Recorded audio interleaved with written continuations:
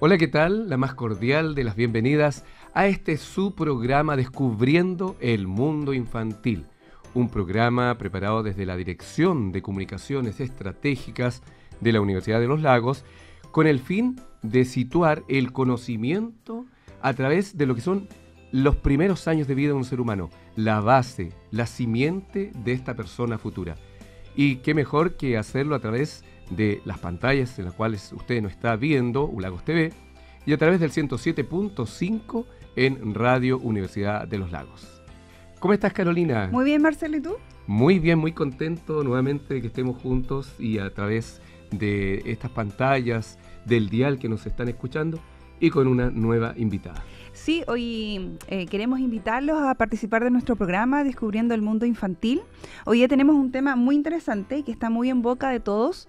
Eh, para eso tenemos una invitada muy especial. Ella viene desde un jardín infantil de la Junta Nacional de Jardines Infantiles y nos va a hablar de medio ambiente. Hola Andrea, ¿cómo estás? Hola Carolina, muy bien. ¿Y tú?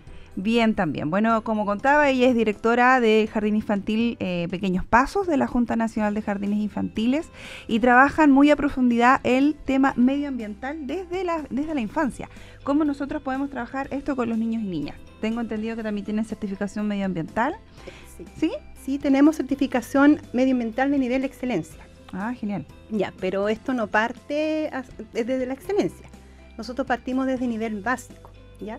En el año 2017 se obtuvo la primera certificación básica y el 2022 la certificación medioambiental a nivel de excelencia. Pasamos, no pasamos nunca por el intermedio, llegamos de lo básico a la excelencia. ¡Ay, súper bien! Oye, cuéntanos un poco eh, eh, de qué se trata este programa y lo más importante, cómo se trabaja con los niños y niñas directamente eh, en relación a las actividades que ustedes realizan, a las experiencias educativas. Bueno, esto parte por el SINCAE, que es la red medioambiental que hay a nivel eh, regional, ¿cierto? Y eh, se hace una matriz de priorización que tiene diferentes ámbitos. El primero es el ámbito curricular, el ámbito de gestión y las relaciones con el entorno. ¿ya? Para ello, para obtener una certificación, tiene que haber muchas acciones asociadas, tanto con el trabajo de niños y niñas en el aula como con sus familias y también con la comunidad. Tienen que estar estos tres ámbitos cubiertos para obtener una buena certificación. ¿ya? Eh, para nosotros no fue fácil obtener la certificación de excelencia debido a que también este portafolio se, realizó en periodo de pandemia. Entonces también nosotros tuvimos que buscar estrategias para trabajar con los niños y niñas de manera remota y ahí obtener insumos para tener este portafolio y certificarnos medioambientalmente. Hoy qué interesante trabajar de forma remota. Entonces, en ese minuto la familia también fue, creo yo, eh, los principales protagonistas de que ustedes pudieran lograr este objetivo con, sus pequeños. Claro que sí, nosotros a, las familias les enviamos cápsulas educativas o también algunas planificaciones simples.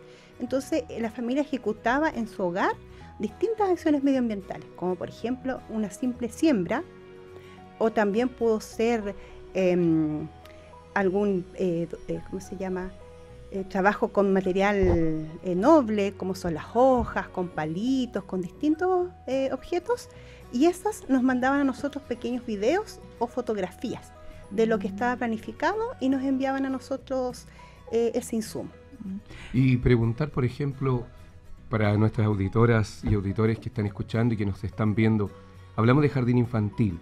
¿Qué edades tienen estos niños ¿Y qué se supone que aprenden ellos en tema de, que el medio ambiente es un aspecto cultural? Y si se va haciendo desde la infancia, claro, bienvenido sea. Pero, ¿qué es lo que sabe este niño o niña? Bueno, nosotros tenemos niños desde los tres meses hasta los tres años, once meses a marzo, o sea, sobrepasa los cuatro, cuatro años. El trabajo en sala cuna obviamente es más con la familia, ¿cierto? De irlos involucrando, pero también que los niños van vayan manipulando plantitas, el cuidado de las plantas, el trabajo con material noble, como les explicaba. Nuestro jardín además tiene muchas áreas verdes, tiene una área verde amplia, tiene un invernadero. ¿Dónde queda ubicado? Nuestro jardín queda en calle Pichimpuye 2450, que es en la Villa Atlántico, quinto centenario. Ah, ok. Ya ahí estamos inmersos. Em, tenemos, como le explicaba, un invernadero muy grande, áreas verdes distintas, espacios de luces. Entonces cada familia igual nos ayuda a hermosear este ambiente y los niños y niñas también interactúan con el invernadero. también interactúan con la, con la siembra, con el traspaso de árboles. ¿ya? Por ejemplo, con AF nosotros nos ha apoyado mucho y ellos están ahí conscientes y cuidando estos árboles, estas plantas que hay en el jardín. Además de eso, eh, lo más importante para nosotros es el reciclado. ¿ya? Nosotros hemos hecho campañas de reciclado, tanto de pilas con algunas entidades que, reciclan pilas, eh, hemos juntado las tapitas de la bebida para mm, eh, ayudar a los niños con cáncer. O sea, también el reciclado tiene un objetivo. ¿ya? Por ejemplo, ayudar a los niños con cáncer a través de las tapitas es un objetivo a perseguir. Em, el reciclado de, los plásticos y, también eh, preparan la tierra. Los niños preparan en el jardín la tierra para poder sembrar y también ven todo el ciclo que tienen las plantas. Y ustedes para llegar a tener esta certificación de excelencia, eh, ¿le hacen una evaluación a los niños, a ustedes, a, los productos, las evidencias? ¿Cómo eso se grafica, se evidencia? ¿Cómo se grafica? Bueno, eh, a través primero de un diagnóstico de los intereses de los niños y las niñas. ¿Ya? También tenemos que ver que los niños se involucren en esto. Ya también un diagnóstico de los intereses de la familia, porque si ellos no nos quisieran apoyar no se podría realizar. Ya eh, ¿Qué me habían preguntado? Respecto a que cómo se puede determinar la certificación de excelencia. Ah, ¿Qué puntos, qué aspectos evalúan de forma eh, integral? Como le explicaba, el ámbito curricular, el de gestión y relaciones del entorno. Es un portafolio completo y te van preguntando distintas preguntas, entonces nosotros tenemos que dar em, como testimonio de que eso se cumple a través de una evidencia. Las evidencias, por ejemplo, son fotografía, videos, hojas de firma, talleres, etcétera.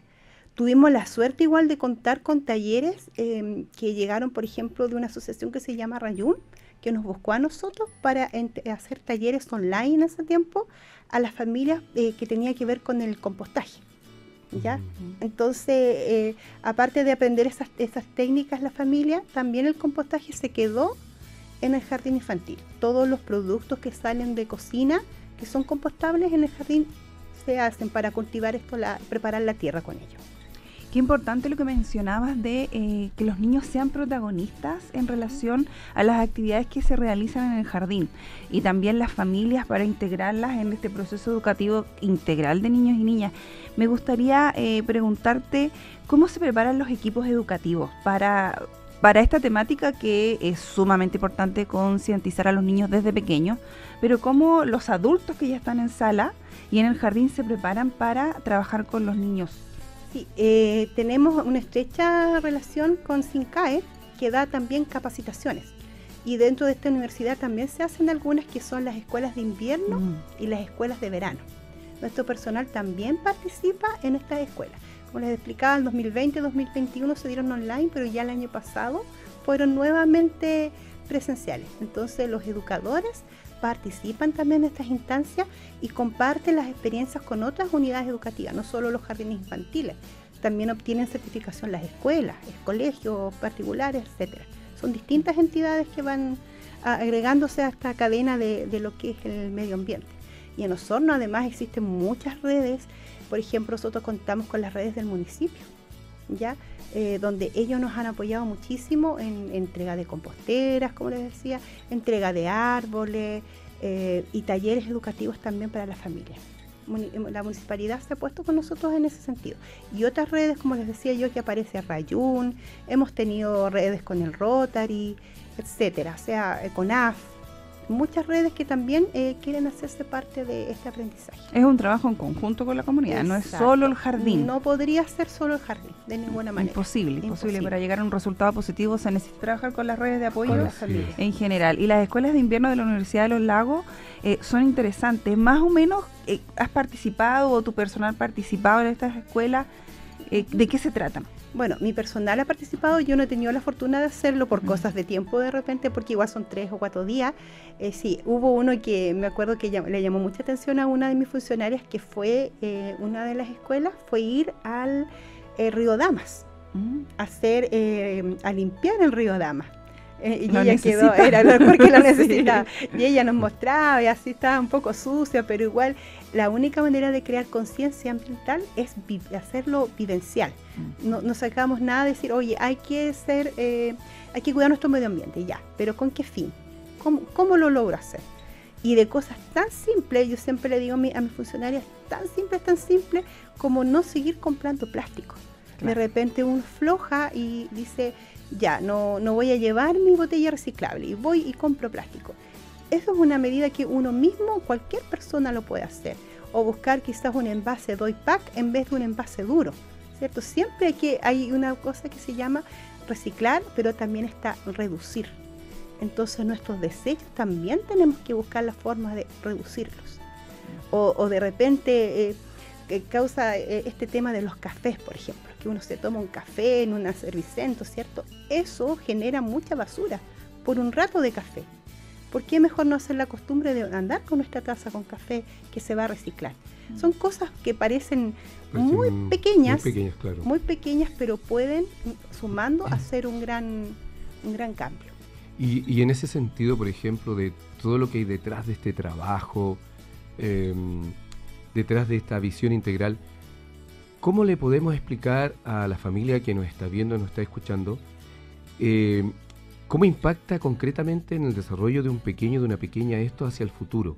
Porque mm, sabemos todo lo que puede tener eh, de infinidad de beneficios el estar un niño en la etapa preescolar con los profesionales, pero ¿por qué el medio ambiente? ¿De qué les sirve? Bueno, les sirve para cuidar su futuro, su mundo, el mundo en el que van a vivir ellos y que van a vivir también sus hijos. ¿Ya? Eh, la conciencia ambiental viene tanto como por decirle al niño, oye, no botes la basura en la calle, ¿ya? Nosotros somos ejemplo como adultos y el niño aprende. Eh, los niños absorben todo lo que uno les enseña. Si uno desde pequeño dice, oye, mejor guarda tu papelito de dulce quizás en tu bolsillo y no lo botes a la calle, eso es un aprendizaje que va a tener toda la vida. Si yo veo que a cualquier insecto, animalito, no le voy a golpear, por ejemplo, en este caso de golpear un, perrito o quizás pisar un caracol, o matar una araña, ¿cierto? A lo mejor a ti te parece, oye, ¿por qué no voy a poder matar una araña? Pero es un ser vivo. Entonces nosotros les, educamos a ellos también, es un ser vivo que, que, merece su respeto también. Y se los cuidan. Yo recuerdo una anécdota con uno de los niños que vio un gusanito pasar y él iba a pasar. Entonces estaba muy preocupado de sacarlo para no pisarlo. Y esas son cosas que uno va aprendiendo desde la primera infancia. ¿ya? Entonces todo el cuidado de hermosear nuestros ambientes, cuidar nuestros árboles, cuidar nuestra naturaleza, va desde que nosotros somos niños y lo, es un aprendizaje que queda para siempre es un aprendizaje significativo que es para la, vida.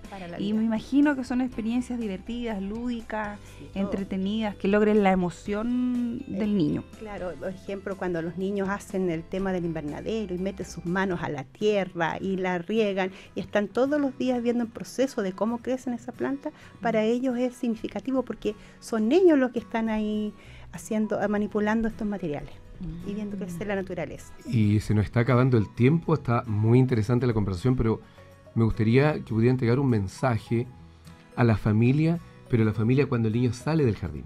Porque, ¿qué pasa después que sale del jardín, que tiene este, esta noción? Eh, ¿La familia sigue acompañando? ¿El colegio sigue acompañando o se nos produce un desfase? Eh, ahí me gustaría que entregar un mensaje para que esto persista en el tiempo. Bueno, siempre es importante decirle a la familia que bueno, eh, desde la más tierna infancia hay que acompañar a nuestros hijos hasta, hasta siempre, hasta siempre, ¿cierto? A pesar que crecen, uno tiene que estar con ellos presentes siempre. Y en cuanto al medio ambiente, bueno, eh, las escuelas también toman este tema y lo toman fuertemente. La, la, gracia es que no, como papás sigamos participando con ellos, sigamos acompañándolos. No porque el niño crezca, no necesita la figura de acompañamiento de su familia. O sea, eso es una, una cosa que es para siempre un compromiso de amor para toda la vida con nuestros niños y niñas. Y existen muchos programas también en la ciudad, el SINCAE también, y otro tipo de programas que podemos seguir eh, participando con nuestros hijos e hijas. Así que el tema medioambiental está llegó para quedarse, es necesario para un futuro más positivo. Así es. Se nos acabó el tiempo, Carolina. Se nos acabó el tiempo. Bueno, entonces nos vemos eh, la próxima semana en la televisión y en el canal, en el Dial Radial, en nuestro programa Descubriendo el Mundo Infantil, eh, con una nueva temática y una nueva invitada. Muchas gracias por Muchas participar. gracias, Andrea, Gracias por a ustedes participar. por invitarme. Así es. Gracias a todas y a todos. Nos vemos. Chao, chao. Chao, que estén bien.